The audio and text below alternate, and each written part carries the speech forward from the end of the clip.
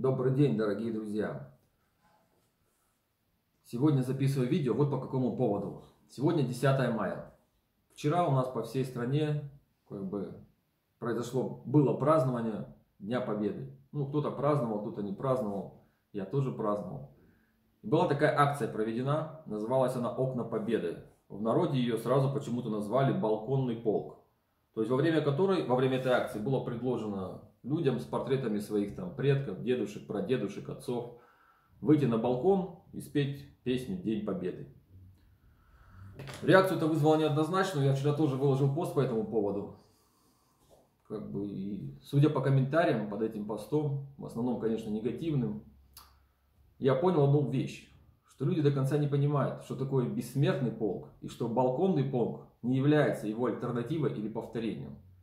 И вот об этом бы мне сегодня хотелось поговорить. А для того, чтобы понять, почему балконный полк этим не является, нужно немного, наверное, прояснить, а что такое бессмертный полк. Вы понимаете, бессмертный полк изначально задумывался как ритуал. Поясню, что такое ритуал, может не все до конца понимают. Ритуал это когда идет состыковка мира видимого и мира невидимого. В ритуале всегда присутствует некая метафизическая составляющая, поэтому он ритуал. Ритуалы есть религиозные, ритуалы есть там, не знаю, какие-то оккультные, есть какие-то там мистические, они разные есть ритуалы, но там всегда идет стыковка мира видимого, то есть того, где мы живем, и мира невидимого, каких-то там вот тонкоматериальных вещей. И бессмертный полк задумывался как некий такой ритуал. В чем заключался смысл этого ритуала? Большое количество людей идут с портретами своих предков. Почему идут? Потому что когда люди вместе что-то делают, например, идут, лучше, конечно, строем, как в армии, но не все же мы воины. И даже просто, когда они идут, они становятся неким коллективным таким сознанием. Их энергии объединяются. Они берут с собой не только портреты своих предков, они начинают нести их в сердце, понимаете, они их вспоминают. И получается некая такая большая суммарная энергетическая масса. Если бы вы там спросили какого-то мистика, он бы вам сказал бы просто, бессмертный ритуал – это ритуал призыва мертвых воинов и опора на дух великих предков. Это ритуал опоры на дух великих предков, понимаете? Ведь это же не просто портреты, которые несут в бессмертном полку. Это герои. А почему они герои? Задайте себе этот вопрос. Потому что они победили. Поэтому они герои. Они победили в очень страшной войне. Это была очень страшная война, в которой погибли миллионы людей. И эти люди победили. И они имеют право полное считаться героями. И вот их потомки, которыми, которые героями далеко уже не являются. И об этом я тоже скажу ниже почему. Идут вместе с портретами этих героев. И они получаются в едином строю. И те люди, которые этими героями не являются, в которых этого духа победителя нет, по определению, потому что страны нет, за которую в 45 году как бы мы, наши предки отстояли, ее нет. Соответственно, вот этих героев пытаются эту энергию, этот героизм, эту силу духа притянуть к себе. И в какой-то момент это стало получаться. В какой-то момент. Я за бессмертным полком слежу изначально. Я в нем старался участвовать. Всегда. Как увеличилась человеческая масса. Как увеличилось количество этой энергии. Она росла год от года. И если кто помнит, в прошлом году это были миллионы, не знаю, миллионы людей по всей стране. Это было колоссальное количество энергии. Ни один крестный ход не собирал такого количества людей. А почему? Все разве понимают, что такое ритуал? Я уверен, далеко нет. Дай Бог, чтобы там, не знаю, пара процентов участвующих в этом понимала. Разумом понимала. Но сердцем-то различала. И сердце им, то есть их чувства говорили, что нужно туда идти. Нужно прикоснуться, приобщиться к этой силе великих предков, героев. Героев, победивших в войне. В отличие от которых мы-то в свою войну проиграли в 91 году. Но об этом тоже ниже. И это был определенный ритуал. И этот ритуал очень сильно кого-то испугал. Я не хочу сейчас заниматься конспирологией. Сейчас бросаться в рассуждение там, о каком-то там вселенском заговоре. Но давайте посмотрим, что такое балконный полк. Уже понимаешь, что бессмертный полк это ритуал. Ритуал предусматривает огромное количество людей, да, большое, определенное состояние, и они совместно что-то делают. А теперь что? Потомки этих великих предков стоят на своих балконах, в перчатках, в намордниках. Намордник это не обидное слово, это маска итальянское слово, по-русски называется намордник. Стоят в намордниках и что-то там поют. Вы разницу не понимаете на самом деле, или вы просто прикидываетесь? Что этот балконный полк, это убийство этого бессмертного полка. Это убийство, это выбивание из-под ног народа опоры на дух великих предков. Вот что такое балконный полк. Это убийство. Понимаете или нет? Убийство духа. У народа из-под ног вышибают это. То, на что можно опереться сейчас. Слабые люди стали в массе своей, к сожалению. Время такое. А великие предки это на то, что можно опереться. Потому что они герои. Потому что они смогли что-то сделать. Потому что они отстояли страну. И вот люди там рассылают друг другу, там, не знаю, какие-то ленточки, считают, что они долг свой выполнили. Пересылают там какие-то письма там в интернетах, рассылки в WhatsApp делают. Спасибо деду за победу. Спасибо, конечно, безусловно. Но что-то вы лично сделали для этой победы. Они оставили нам страну, самую большую страну на планете Земля, с большими ресурсами, самым лучшим в мире здравоохранением и образованием. Где эта страна? А? Вместо того, чтобы писать на машинах «Спасибо деду за победу», об этому деду ответьте, а где страна? Как так получилось, что в Киеве маршируют бандеровцы, в Прибалтике всякая там нацистская сволочь свои парады устраивает? Сейчас, в 2020 году. Объясните своим дедам, когда с ними встретитесь. В мыслях своих просто. Вы понимаете, что происходит? И вот этим балконным полком они пытаются подменить тот бессмертный полк, который на их глазах просто из народного движения перерос в какое-то всемирное движение. По всему миру же он проходил, правда ведь? Начали сердца-то отзываться везде, у всех потомков народа-победителя. А что нас сейчас призывают делать? Давайте не праздновать победу, давайте праздновать окончание во Второй мировой войне. Нам также говорят, это день траура, нам также говорят. А я этим людям отвечу, это не день траура, друзья мои, это день победы, понимаете? Это траур у них был. Кого наши предки вкатали гусеницами в чернозем. Это у них траур. Это для них это черный день. А для нас это день победы. День праздника и радости. А не стояние с портретами с лицом унылого говна, извиняюсь за выражение. Понимаете разницу или нет? Праздник и унылое говно с портретом стоящее. Есть в этом разница или нет? Вот нас хотят превратить в это унылое говно. Вот в чем все дело. Вот для этого этот балконный полк и предназначен. Вместо бессмертного полка. Я извиняюсь за эмоции, но меня просто вот вчера целый день распирало, когда я на это все смотрел. Как это нельзя понять? Как это возможно не понимать? Они хотят украсть у нас победы. Поймите одну вещь. Это не у нас даже, а у наших предков хотят ее украсть. Они выиграли в 45-м. А те, у кого выиграли, они нам сейчас навязывают свои правила игры. И говорят, зачем вам праздновать победу? Вот весь мир празднует окончание Второй мировой войны. А весь мир это о ком идет речь? Это те, которые на нас наступали, вы понимаете? Это тех, кого убивали под Сталинградом, под Прохоровкой. Тех, кого добивали потом в Берлине по всей Европе. Это они празднуют окончание Второй мировой войны. И мы должны присоединиться к ним. Украина присоединилась, Прибалтика присоединилась, все уже присоединились. Единственная республика, которая провела парад победы в юбилейный год, это Беларусь. Единственная. Вы считаете нормально? Я считаю, что нет. И я зачем это все говорю? Я извиняюсь, конечно, за излишние эмоции, но просто люди, которые эти все фокусы делают, мне хочется знать, точнее, я хочу, чтобы они знали, что их маневры понятны. Понимаете это или нет? Что мы все это прекрасно понимаем. Они хотят выбить у нас из-под ног эту опору на великих предков. Но посмотрим, поможет ли это им. Это первое, что мне хотелось бы сказать. А второе, вот там как-то вчера это видео разошлось по интернету, которое выложило руководство нашей республики, как они вот так вот стоят с грустными лицами на своих балконах в здании администрации с этими портретами. Ну, интересный комментарий. И как бы опять там руководство принимать это все на свой счет. А мне хочется спросить у нашего руководства замечательного. Я к нему очень хорошо отношусь на самом деле. И считаю, что очень ему в тяжелое время пришлось руководить, нашему руководителю республики. Кто его подбивает на подобные истории? Вот кто это делает? Я же уверен, что не Вячеслав Зелимханович сам это придумал. Такую вот штуку сделать. Флешмоб, как это сейчас называется. Вот это называется флешмоб. Они нам вот эту живую энергию и опору на духу великих предков пытаются подменить флешмобами, квадрокоптерами, лайками в инстаграмах. Понимаете? Не сбитыми танками под Прохоровкой, а лайками в инстаграмах. Вы понимаете, что они делают?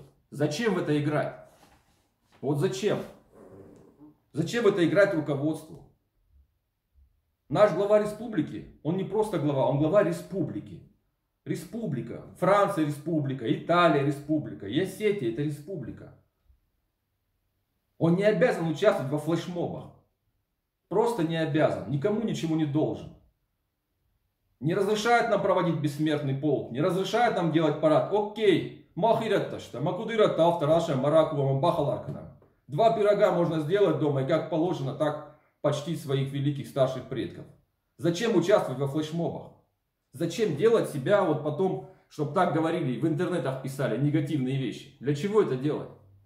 Кто на этом играет? Вот об этом мне хотелось поговорить дальше. Потому что этот процесс, вот с этим флешмобом, со всеми остальными штуками, со всеми то, что вытворяют как бы люди, приближенные к главе республики, то, как они его дискредитируют. А я уверен теперь, что это осмысленный процесс. И я уверен, что кто-то делает это из его окружения. Об этом бы тоже хотелось поговорить.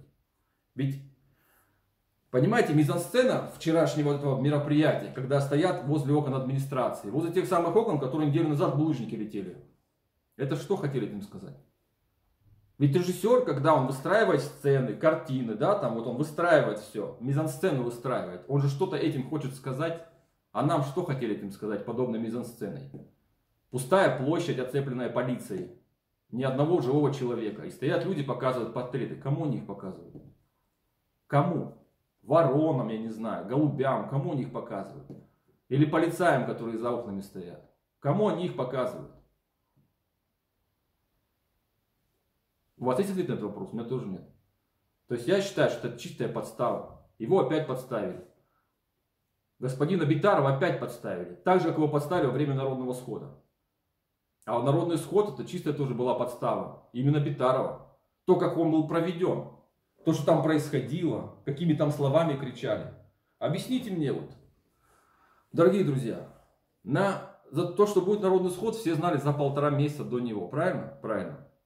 То есть все знали. Тот, кто занимается внутренней политикой, тот, кто занимается информационкой, все знали, как к этому подготовились. То есть его провели так, что хуже невозможно. Хуже, если бы там еще кого-то убили. Вот это было бы еще хуже. Но хуже, чем он был проведен, невозможно было его провести. И вы скажете, что случайно и неосмысленно было? Я считаю, что это было абсолютно осмысленно. Это была чистая подстава. Я вам сейчас расскажу другую историю. Ну, чтобы что-то понять, нужно что-то с чем-то сравнить, чтобы вы поняли ход моих мыслей. Есть такая замечательная страна Украина. Я почему говорю про Украину? Потому что я хорошо ситуацию там внутри знаю. Мы этим вопросом занимались подробно. Майдан этой всей истории. Рассказываю вам историю. 2013 год. Один человек печатает пост в интернете. Зовут его Мустафа Наим, общественные дети. Декабрь или ноябрь, сейчас врать не буду. И он говорит, приходите завтра, друзья, приходите, друзья мои, сегодня во столько-то, во столько-то на площадь Майдан Незалежности. Берите с собой чай, кофе, друзей и хорошее настроение. Вам ничего не напоминает? Они туда пришли, молодежь пришла. Потому что кто-то, воспользовавшись ресурсами, расшарил это объявление по всему Фейсбуку, и ну, там большое количество набрало этих лайков, просмотров, пришла такая приличная молодежная тусовка там собралась. Студенты в основном первых курсов. Чай, кофе, хорошее настроение. Туда приехала полиция. Какие-то провокаторы внутри толпы этих студентов начали там нелицеприятные вещи про Януковича кричать. И матом, и не матом. Ну вот примерно как у нас это было.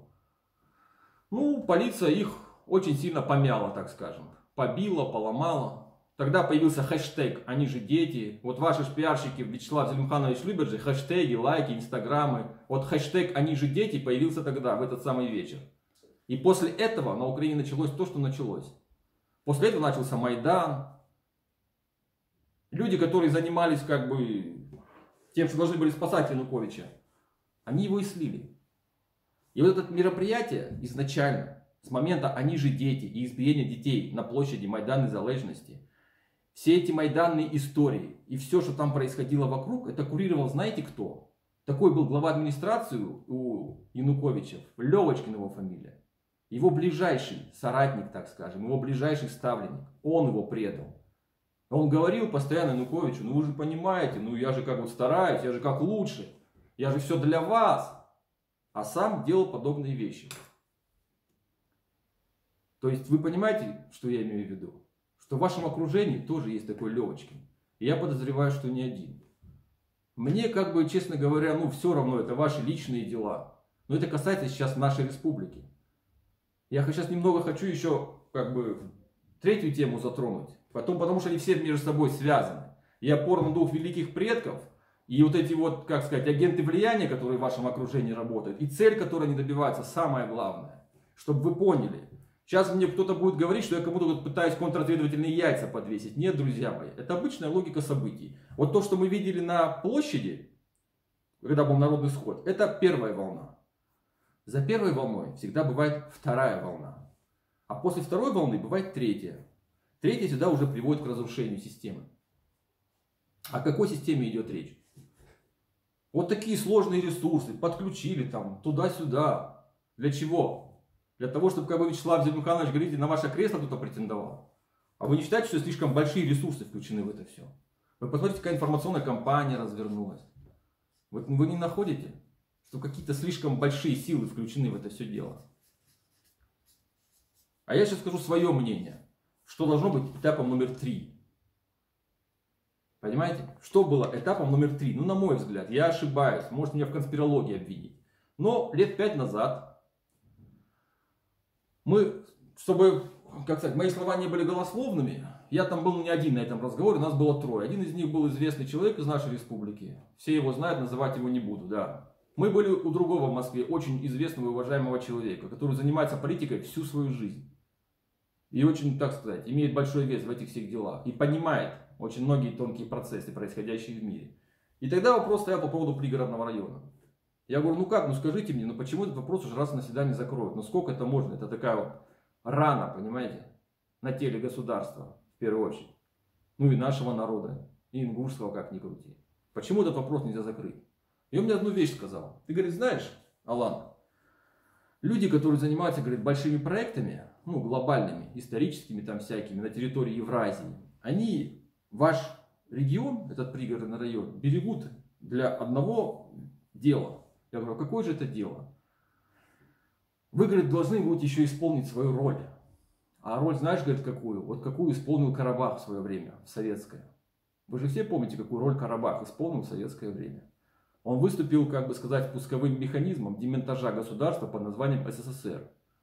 Только сейчас, говорит, роль мусульмане и азербайджанцев будут исполнять ингуши, а роль армяне и христиан будут исполнять осетины.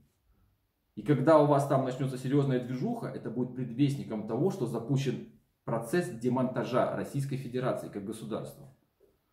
То есть вы понимаете, что здесь происходит? Это не простые штуки. Это не просто люди, когда собрались на электроцинк. Это не просто. Это не просто получилось информационное сопровождение, в которое даже Ходорковский включился и разные другие, в том числе там BBC, иностранные там информационные компании. Это не просто здесь получился народный сход, на который, как ваши сотрудники говорили, придет 50 человек, а пришло 2000 человек. Это все не просто. Просто так люди никуда не, сами не приходят. Потому что политика это управление общественной энергией. И когда вы этой общественной энергией не управляете, ей управляет кто-то другой, мимо вас. А вы просто об этом, наверное, не понимаете.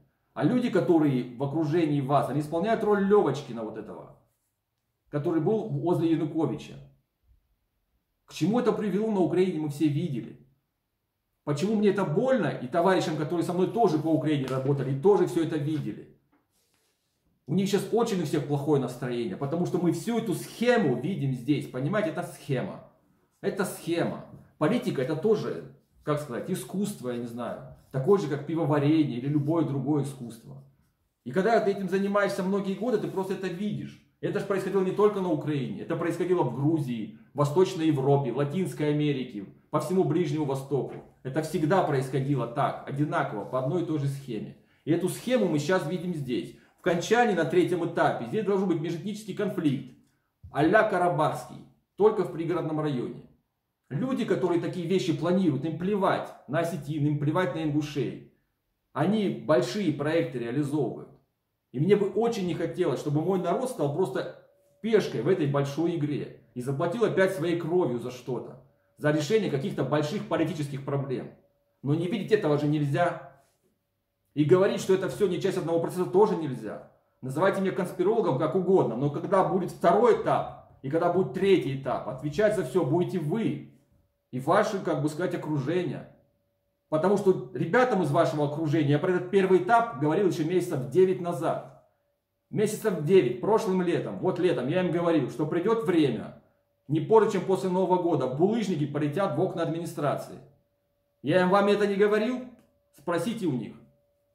И ни одному человеку из вашей администрации говорил, потому что у меня душа болит. Потому что я не хочу, чтобы мой народ своей кровью платил за это. Я им это говорил. Когда прошел этот первый этап, я им говорю, ну что, дорогие друзья, ничего, тишина. И они продолжают дальше дискредитировать руководителя республики. Они его дальше дискредитируют. Что это такое этот балконный полк? Кто это придумал? Почему там стоит руководитель республики в своем окне, в который недавно стоял булыжник летел? Туда нельзя было каких-то молодых волонтеров поставить? Не знаю, представитель молодежного парламента, там еще кого-нибудь. Если кто-то должен участвовать в каких-то таких шоу или флеш-мобах, как это сейчас называется, почему в этом участвует руководство республики? Почему оно себя опускает до участия в флеш-мобах? Объясните мне. Целый глава республики, республики участвует во флешмобе. Это что такое? Это кто придумал? Эти люди в вашем окружении находятся. Этот Левочкин находится рядом с вами, я вас уверяю. И я подозреваю, не один. И когда случится второй, третий этап, и здесь польется кровь, мало никому не покажется. Мало не покажется никому. Ни активы, ни все остальное уберечь уже не получится. Это не простят. И здесь начнется такой замес, что мама не горюй. И те люди, как Левочкин, потом отскочат. Левочкин при новой власти стал олигархом на Украине, чтобы вы так себе понимали. Он оказался в шоколаде.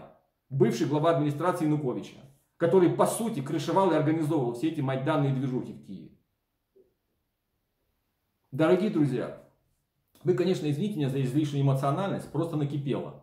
Это кровь, которая здесь уже пахнет. И я не хочу, чтобы она здесь пролилась, понимаете? И я понимаю, что я, например, очень сильно рискую, когда такие вещи говорю в прямой эфир. Я очень сильно рискую. Потому что ребята, которые такими штуками занимаются, они имеют очень большие ресурсы и возможности. Но я сознательно иду на этот риск. Потому что это мой народ. И в темную мы тут разыграть никому ничего не дадим. Спасибо за внимание.